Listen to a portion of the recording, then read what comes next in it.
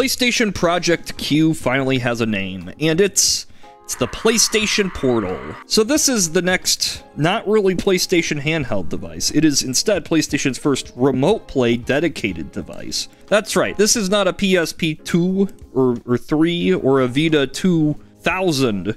This is an abomination. It's a little tablet with two two halves of a DualSense controller welded onto the middle. This can't play games on its own. You need a Wi-Fi connection and a PS5 to to remote play over. Uh, you can't even stream games through the cloud. It's just a display, a TV that only works with your PlayStation. Isn't this something that Magnavox? Yeah, I'm pretty sure this is this is something that Magnavox was actually kind of scared of. That they thought people would assume that the Magnavox Odyssey would only work on Magnavox TVs. But this is what Sony is actually doing right now.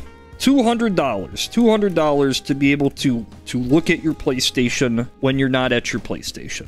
8-inch LCD screen 1080p resolution at 60 frames per second. I, I think they mean hertz. Has the battery life of a standard DualSense controller. That's not too bad but this is a pointless device built for nobody. Something that does kind of piss me off is the fact that this this thing doesn't support Bluetooth like, I know that that probably isn't a huge deal to some people, but that means any wireless headset you have doesn't work with this thing. Unless...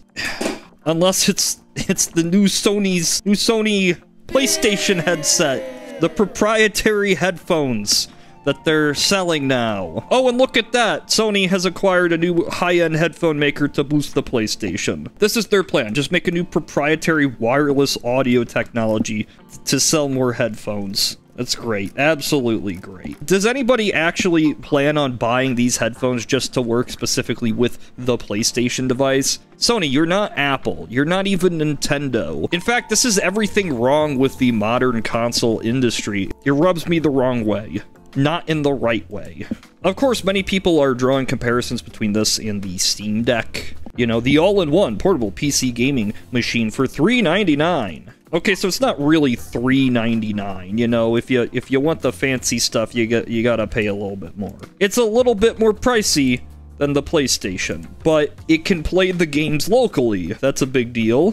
It can actually play games on its own. That's a that's a big deal. Couldn't you just install Windows and you could have yeah. So on, on a lot of these new handhelds, you can actually just use PlayStation Now the cloud streaming service for the PlayStation. Something that the PlayStation handheld cannot do. So I know Sony started testing out this new cloud streaming service, I think uh, a successor to PlayStation Now. I don't know if that's rolled out yet. Oh, that seems it seems to be rolling out right now actually. then why then why does this not support it? You know what it probably is? It's probably because they don't want people to be able to play like Spider-Man 2 on a $200 handheld device. They don't want people to just they don't want people to be able to who want to play this new game to just go out and buy a $200 PlayStation thing. They, no, they want them to go buy the whole $400 PlayStation. $500 because it got the little disk drive. Okay, let's think about potential use cases for this machine. If you're an adult, you're not going to need this. What bothers me a lot about this is that this technology exists already.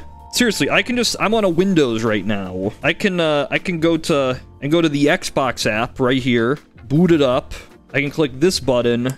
I can press Xbox console on on my laptop and uh and I'm and I'm I'm at, I'm at my Xbox. I'm at at it already. That's all it took. No $200 device required. You could do this on uh with Xbox on phones with the Xbox Cloud app thingy, right? Like seriously, you could you could just buy the the Razer phone controller and play on the Xbox Cloud on Stadia. You can use PlayStation Remote Play already, right?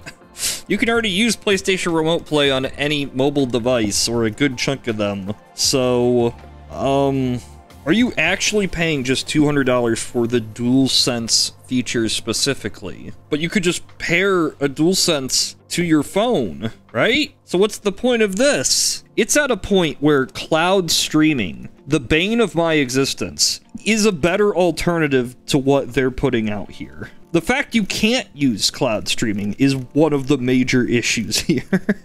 so who's it for?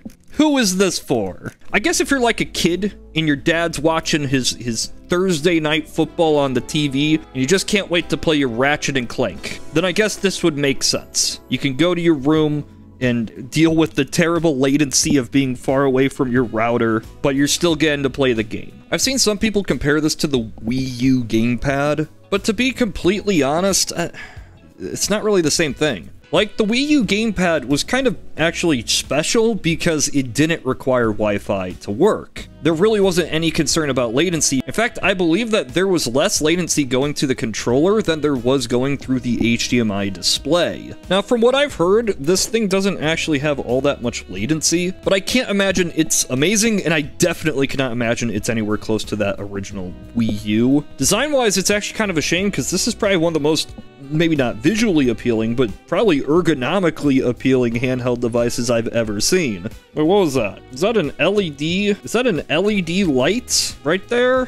Hmm, that might change everything. I might have to buy this now. But if you're an adult, if you have disposable income, I think just about everything is a better is a better option here. Like I'll give you this, something like the ROG Ally that that runs Windows that has it's the Xbox portable more or less it's a little pricey. Like that, that's uh, that's a bit much. Now see, back in my day, if we wanted to play our PlayStations on the go, we would we'd get our Sony portable DVD players, and uh, they looked a little bit better. They actually they looked about identical to only thirty-four dollars.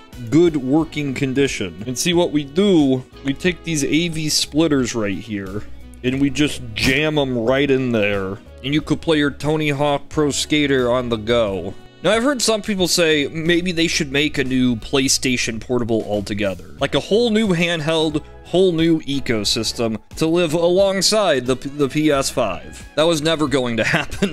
that was never going to happen. So one of the major issues with having two development platforms is you have to divide your attention. When it came to something like the PlayStation Vita, Sony had to take some of its in-house development studios and put them on these mobile projects. Games that would probably not sell that many units, but needed to be there to sell systems. Now, Sony's first-party lineup of studios has definitely grown since this time, but by no means would they have the capabilities to support this. I mean, Nintendo didn't even. That's why they moved from the Wii U and the 3DS to the Switch. You were never going to get a PlayStation Portable 3 or a PS Vita 2. The sales numbers just weren't there. So by best estimates, the Vita sold 15, maybe 16 million units. This is in comparison to the 3DS that sold 75 million units, almost 76. I've heard some people say maybe they should make a PlayStation 4 portable. Just take the PS4 itself and, uh, I don't know, shrink it down to handheld size. But I don't think that's a great idea either. It would probably be weaker than whatever the Switch 2 would offer, but also I don't know if Sony necessarily has those exact architectures and uh, chip processes still in production. That's a that's it's a complicated thing. I'm also certain Sony doesn't want to incentivize developers to continue working on last-gen platforms.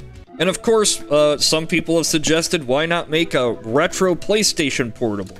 Something that plays PS1 and PS2 games and maybe streams PS3 titles through the cloud. But I mean, this this is Jim Ryan we're talking about. I know this this might have been taken out of context, but still, you you're not getting that.